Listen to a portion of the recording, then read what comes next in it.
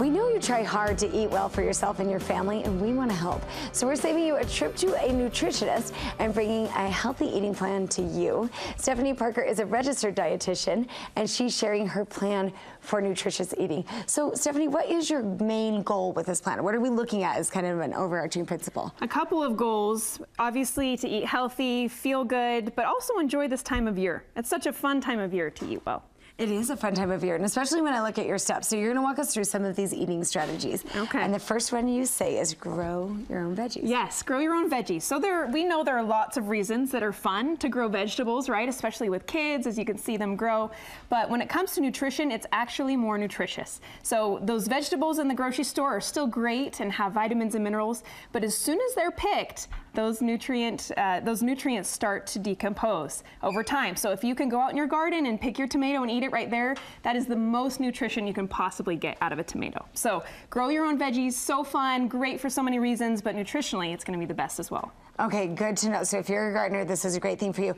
And if not, then don't be discouraged because your next step is yes. So in, in, uh, with with this time of year, there are fruits and vegetables everywhere, right? So in your garden or in the store, they're good prices. Um, it's the season, so there's no excuse not to include fruits and vegetables with every meal. I like a fruit breakfast, lunch, dinner, and vegetables. Try to put them in an omelet maybe in the morning. Uh, lunchtime is so easy with bagged salads now. Just have a salad with lunch. It takes two minutes, right? Put your lettuce in there, put a can of salmon or tuna on there with some apples, some nuts, and some dressing. At dinner time, uh, I like to emphasize both a non-starchy vegetable that, you know, all the greens you hear about, broccoli, green beans, and then also a starchy vegetable, corn, corn on the cob, uh, potatoes, sweet potatoes. Get both in there because they're both nutritious. Okay, you're making these vegetables sound more and more attractive. and I will say, you know, it, it is easier and easier to eat vegetables because sometimes you can buy them. If you're a person who doesn't have time, I think those are people who usually complain about that you can buy the pre-cut. I mean, right. you can kind of get so many now. easy options. Really sure. easy options. Yes. Okay, moving to your next step. You say grill. Grill, yes, it's such a fun time of year to be outside, right? And is. use your grill. And if you're craving a burger and if you're craving fries, then just make it at home. It's gonna be so much more healthy if you get a sweet potato and cut it up, put some seasonings on it, grill it, and you can have some sweet potato fries. Still, still fairly healthy. It's gonna be a lot healthier, even your burger at home. It's gonna be healthier than pulling through the drive-through.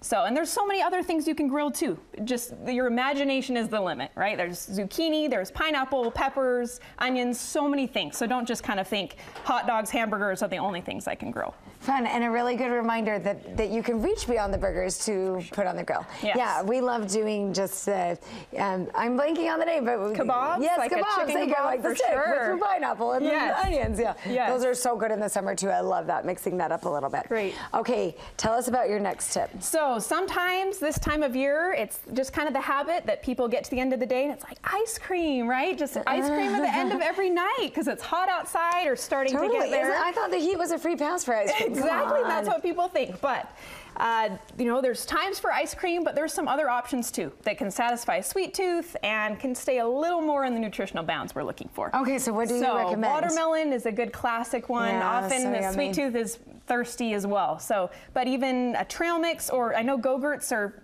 are marketed to kids, but throw one of those in the freezer, and that's like that's like an ice cream at less than 100 calories and a little more satisfying, in my opinion.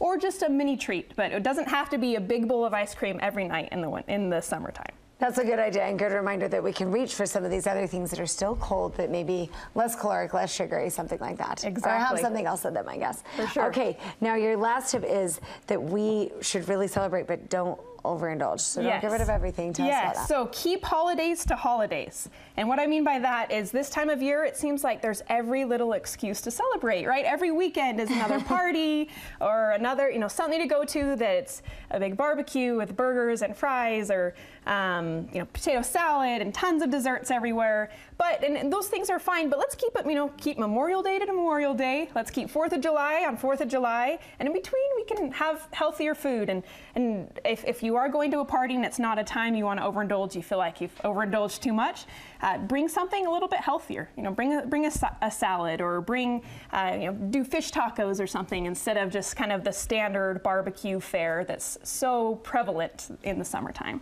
Okay, I love that. That's such a good recommendation because for a lot of these events, you are going to be bringing something, right? You don't come empty-handed, so Right. you make the healthy choice. You decide what you're going to bring and choose one of these options. Yes. And more often than not, I find people thank you when you when you go to these things because wanting to eat healthy too. I mean, yes, we want to have our treats, but when you go and there's just no healthy options, it's kind of like, oh, again, you know, I need to. I guess this is what I have to eat. But if there are some healthy options, people are kind of relieved. People are going to reach for those. That's such a good point.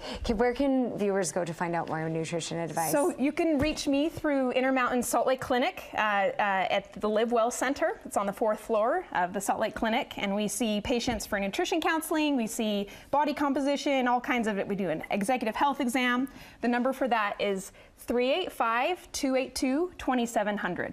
awesome. Thank you so much. Great tips. It's really appreciated. You're welcome.